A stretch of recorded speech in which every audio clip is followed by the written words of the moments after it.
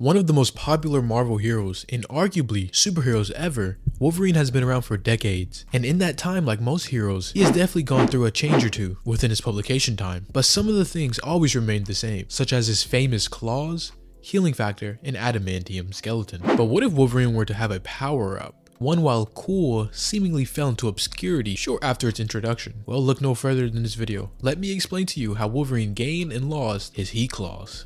Now, in the story arc Return of Wolverine, Wolverine was resurrected. And before you go asking yourself, how could he be resurrected? I thought he couldn't die. Well, in the previous story, The Death of Wolverine, Wolverine was infected by a certain virus, which not only slowed his healing factor, but made his adamantium mess up within his body, and concluding with it literally suffocating him. Anyways, after his death, he was seemingly revived by an unknown entity, and after waking up in a random laboratory, he had no memory or recollection of what happened or what was going on since his death. All he knows is injuries he should easily be able to shake off aren't healing as fast or as efficient. And he somehow has these very hot claws with no idea how or where they came from. And after saving and rescuing a young woman who was on the look for her son, Wolverine decides to help her out as he has nothing better to do right now with no memories or recollection on who he is, but she seems to know the legends of the Wolverine. So they set off to an island where she thinks her son might be, but unfortunately, they're being chased by the entities and people from the laboratory who captured him in the first place. And as they are on the boat, a battle ensues, with Wolverine not having his memories, but still his instinct and fighting potential, as he pops his claws and gets ready for a battle, before one of them, who looks like Omega Red, gets shot by a harpoon by the woman, leaving just a 1v1 now.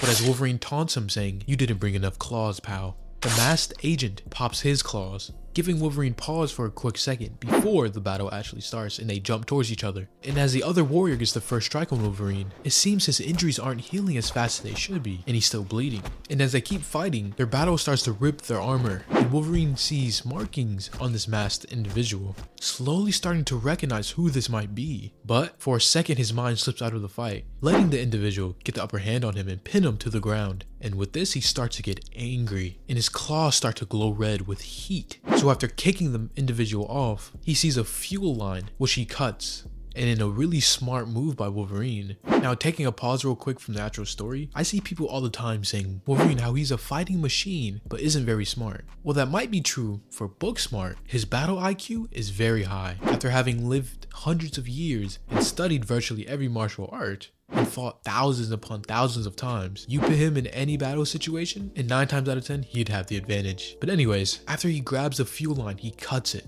and starts spraying it on his opponent before putting his supercharged claws in front of it, creating a beam of fire, roasting his opponent alive, as you can then see the flesh being torn from his opponent's skin, before Wolverine stabs and throws him off board. But unfortunately for the woman on board, he is in his famous berserker state. So with him having these claws, think of the Hulk. How when Bruce Banner gets angry, he hulks out and transforms. So when Wolverine gets angry and goes into his sort of berserker mode, his claws start to glow with heat and power. But unfortunately, in his berserker mode, this is where he gets his dumb animal-like persona, wildly attacking without much thought or strategy. Anyways, he gains his senses and spares the woman. And as they make it to the island, the other X-Men finally catch drift of Wolverine's arrival and resurrection. And after a series of events and them being on the island, the X-Men do arrive, but Logan has no real recollection of them or memories as a member of the X-Men team. So a battle ensues, with Logan fighting a lineup of Nightcrawler, Kitty Pryde,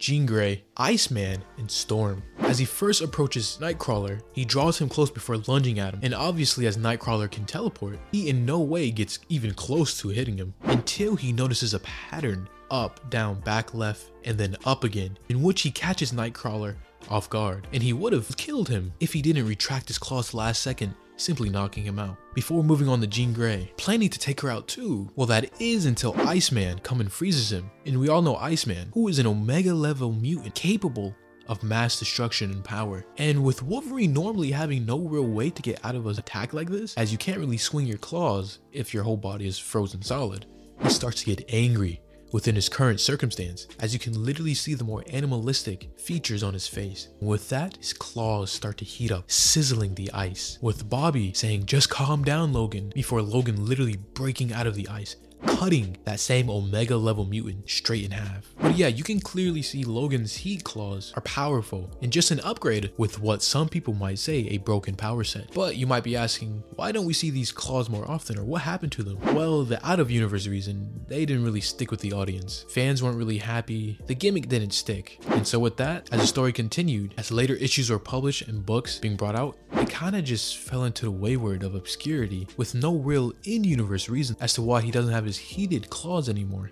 But now you might be asking yourself, yeah, that's cool and all, and I understand his heated claws and why he doesn't have them.